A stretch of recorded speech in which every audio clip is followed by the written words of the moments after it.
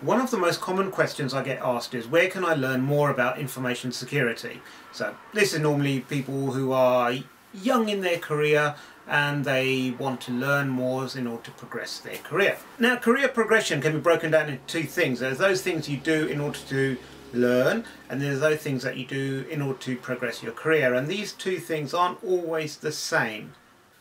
For example, getting a certification doesn't necessarily mean that you actually learn much, but it puts a good, nice tick on your uh, CV that recruiters will look at and say, ah, he's done this certification, he must be good. But it doesn't really necessarily prove that you actually know that subject very well. We can talk about career progression things in another video. This time I just want to focus on education and more importantly, where can you learn things for free or, or very, very cheaply which I think is one of the biggest challenges that up and coming security stars face. First off, you have the internet. The internet is a fantastic resource. You've got websites such as SecurityTube, um, which have a list of videos that just go on and on and on. Any topic you want, you will find a video on there. Maybe you're watching this video on that on SecurityTube right now, who knows? Secondly, there are loads of really good blogs out there. Places like InfoSec Island, you know I, am a big fan of. Um, but there are plenty of other independent blogs, even vendor-driven blogs. I, might might sound a bit weird, but even vendors sometimes put out some really good white papers and blogs and articles that really help one's understanding in what the challenges are, where the industry is moving. And, and I wouldn't say just stick to one blog or one set of websites to look, but rather expand your horizon. Look at everything. Look at a mixture of independent people's ranty blogs, look at uh, some vendor blogs, look at some uh, news websites and see what their take on an article is and then put them all together and do your own analysis and somewhere in between you will find the, the truth. the truth is out there. Yeah, um, the truth is out there it's not an exact science and that's the thing everyone's got a different opinion a different take and by reading all of this you will absorb more information and hopefully learn a bit more or you'll just get confused to bits another really good resource are these free open source uh, Linux distributions where people have pre-packaged a ton of security tools all into one distribution that you can download onto your virtual machine and play around with to your heart's content. Something like Node Zero is absolutely fantastic. It's got a million and one, well okay, maybe not a million and one. It's got a lot of security tools on there, more than what you know you probably really use on a day-to-day -day basis. But you can go through a lot of them, you can read the documentation, understand how do you actually go about testing and retesting and finding vulnerabilities and then well, if you found a vulnerability how do you then go about closing it. It's all good learning. Another great thing we have in our industry are conferences. What, you mean other industries have conferences too? News to me. But a lot of these are free or very cheap to attend.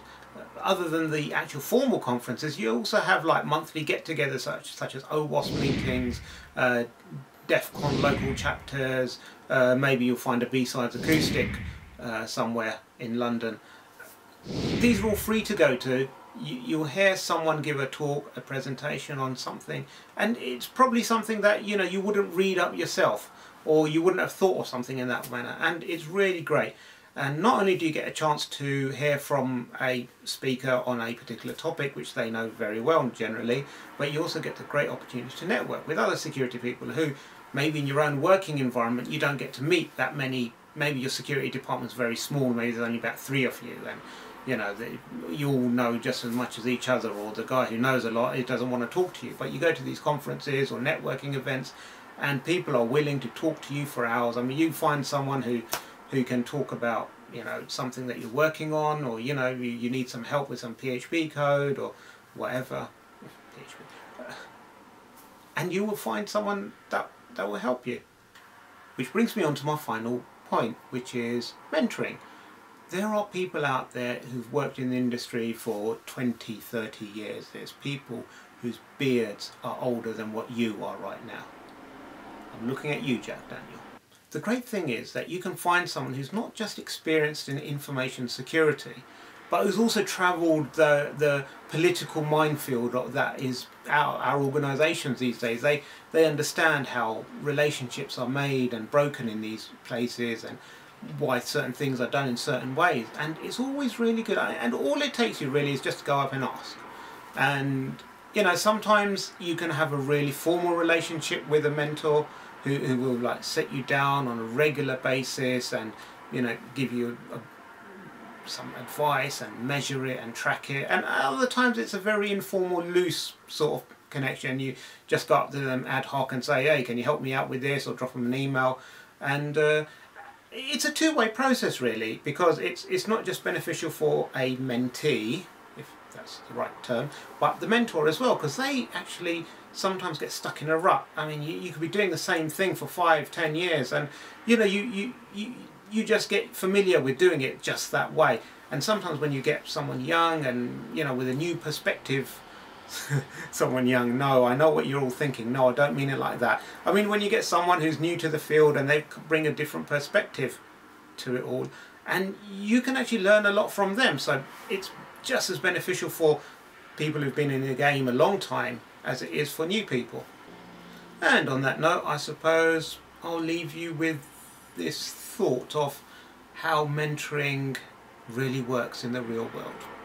Stay secure, my friends. Hey Chief, how's it going? I tell you what, why don't you get yourself and your script kiddies an ice cream and let the grown-ups do the talking. Why don't you go and paint your beard? I have you know, this is my natural beard colour. No it isn't. Feel it. Why are you touching him? She was a rookie learning the ropes. He was a cynic who'd forgotten the ropes. But now they face their toughest challenge yet. You two deserve each other. You're partners. One mentor and one mentee are teaming up to learn from each other. Linux or Mac? Linux. That's good. Because I have no idea how the command line works.